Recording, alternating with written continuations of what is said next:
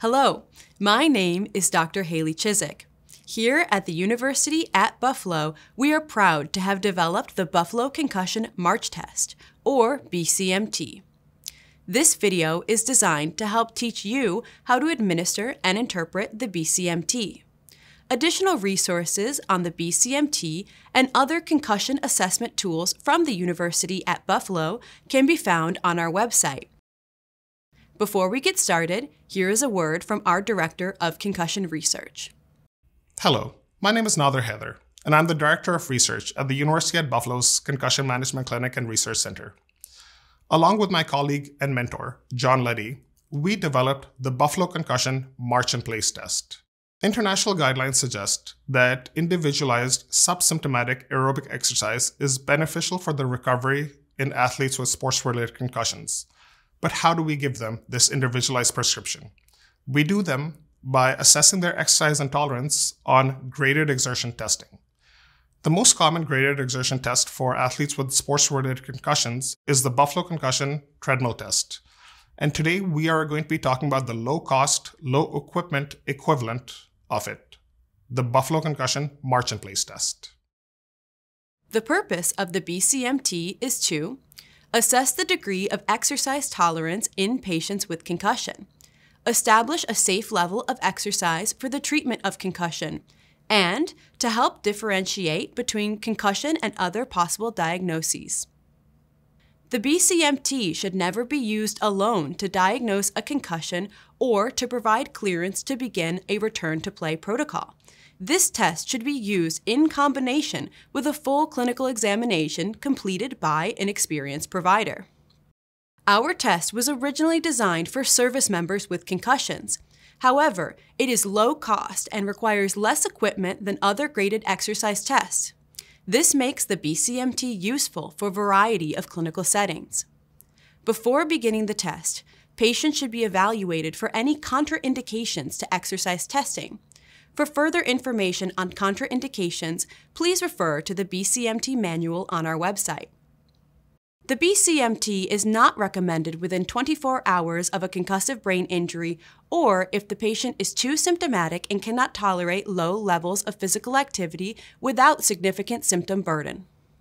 We suggest that at least one person conducting the BCMT is trained in CPR and that an AED is always available. We also recommend that two people perform the test whenever possible. In this case, one test administrator should stand next to the participant as a spotter, while the other administrator records data. It is possible to complete the BCMT with one examiner. Here are the supplies you are going to need to perform the Buffalo Concussion March test. Tape, a metronome, or the BCMT track available on our website, a heart rate monitor, we recommend a polar armband or chest band, a visual analog scale or VAS, a Borg grading of perceived exertion or RPE scale, a data collection sheet available on our website, a chair, water, and a towel for patient recovery after exercise. To get started, ask the patient to arrive ready to exercise. Comfortable shoes and workout clothes are advised. Describe the testing procedure to the patient. Allow them to ask questions. Inform them that participation is voluntary and that they may stop the test at any time. Have the patient wear a heart rate monitor per the manufacturer's instructions.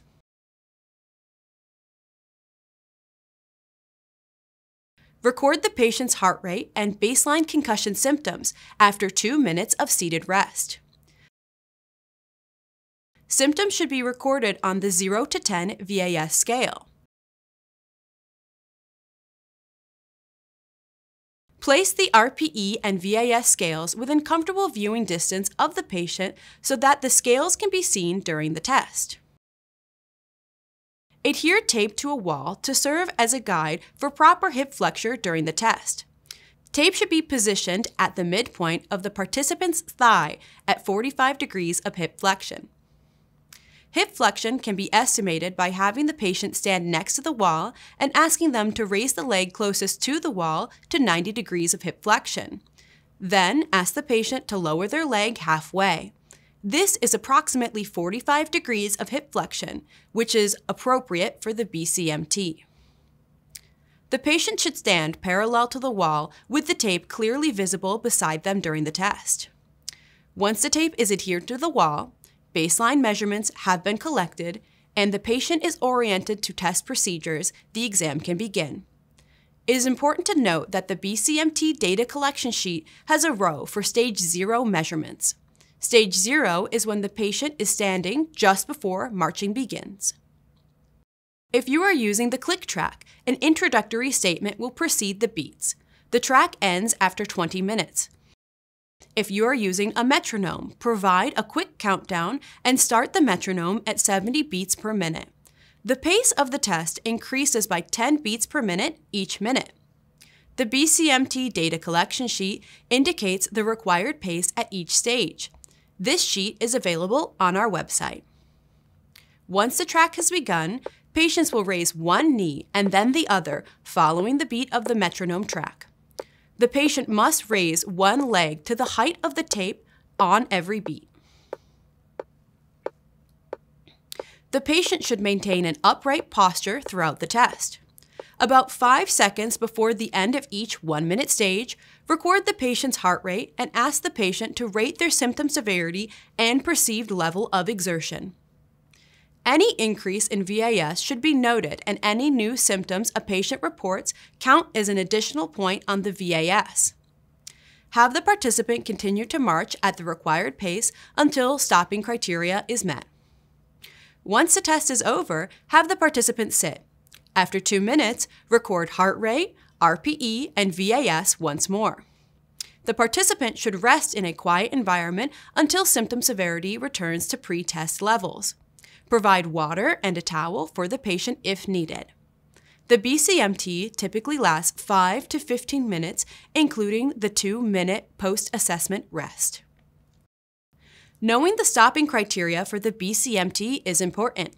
You should stop the Buffalo Concussion March test if there is more than mild symptom exacerbation, which is an increase in concussion symptoms of three or more points from the baseline VAS score.